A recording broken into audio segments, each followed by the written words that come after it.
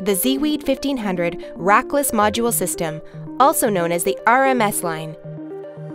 With many factory assembled configurations available, the RMS line will lower on-site assembly time by up to 50%. The main RMS building block is a 2x8 module assembly. These basic building blocks are easily expandable into multiple train sizes.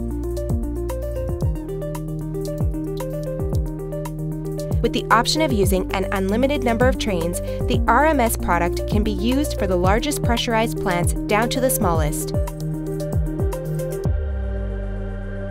The ZeeWeed 1500 RMS system is significantly smaller than a typical pressurized UF rack on the market currently.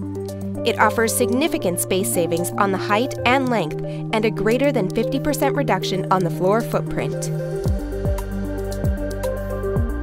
The ZeeWeed 1500 RMS uses the same robust product structures as the ZeeWeed 1500 module. This ensures optimal backwash and aeration sequencing, making it an ideal product for any application.